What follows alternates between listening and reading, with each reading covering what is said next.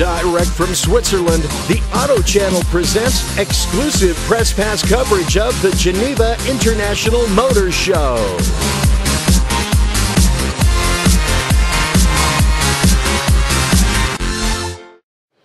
And now, I want to talk about our future.